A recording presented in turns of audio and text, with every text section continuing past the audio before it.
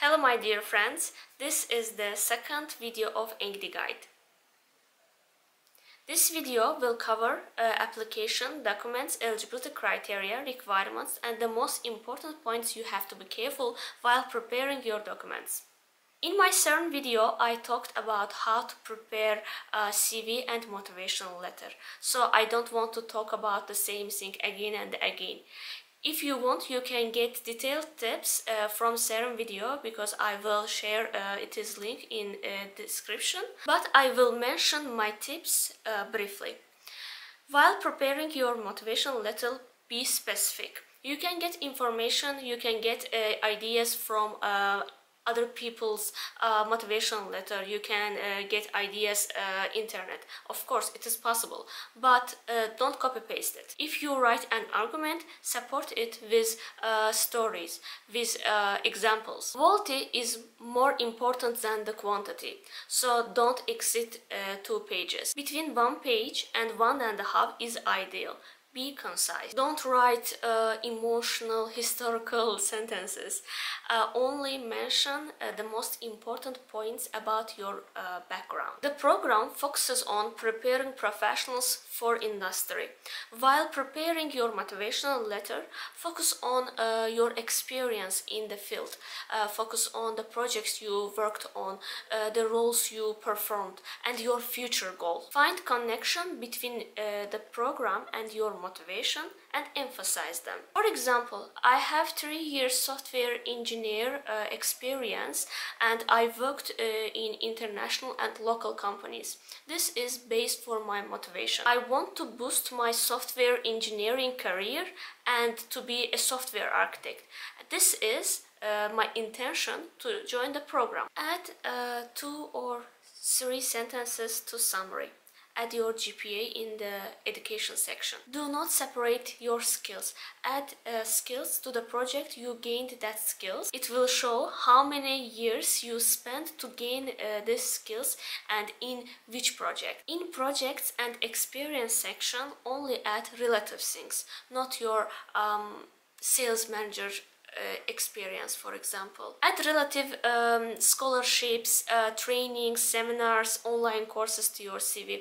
If your hobby is not uh, developing game or contributing pe people on Stack Overflow, uh, then don't add them. My tip for CV, I think this is the most important one. CV should be as concise as possible. I asked lots of HRs, my supervisors, read book about it.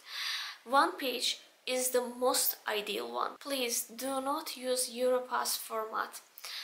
Once I have uh, read my friend's CV, it was like a storybook of kids.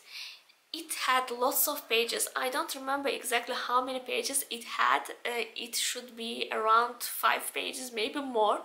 I don't remember, but it is too much. In the USA, when I joined uh, to Grace Hopper Celebration Conference, I asked uh, HR from uh, Amazon, she looked at my CV. My CV was two pages and she said, it is too much. There were some uh, white spaces on the first page of my CV. She said, uh, move the information from the second page to uh, the first page. Do not keep any white spaces on the first page. Use all of them. Okay, uh, transcripts, diplomas and syllabuses.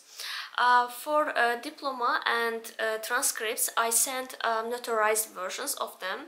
Uh, I couldn't send the syllabuses of bachelor and master studies because I couldn't find them, but I don't think it is a big problem because on my transcripts, credits for all courses were added. If you have it's okay, you can send uh, only transcripts. Copy of master thesis in English. My master thesis uh, was not in English, it was in my uh, native language. I made a summary in 20 pages in English. My master thesis was about web development. I developed a website for it. So I took a screenshot of every pages of website, collected uh, them in a zip file and sent it to. My bachelor thesis uh, was irrelevant. Uh, it was related to mathematics for finance, so I skipped it. Language certificates. I assume that you know about the requirements about the language. Uh, if you don't have IELTS or uh, TOEFL certificate right now and uh, you think you can't get it in time, you can still uh, apply to the program and get acceptance. But uh, until the program begins, you have to get it and to send it to the person who concern it. Additionally, you have to finalize your master studies until the program begins. Try to find people from your university to recommend you. It could be your supervisor, your teacher, uh, professor. People uh, related to your master and bachelor thesis uh, are the most uh, preferred ones. But for my case only one of them uh, was from my university.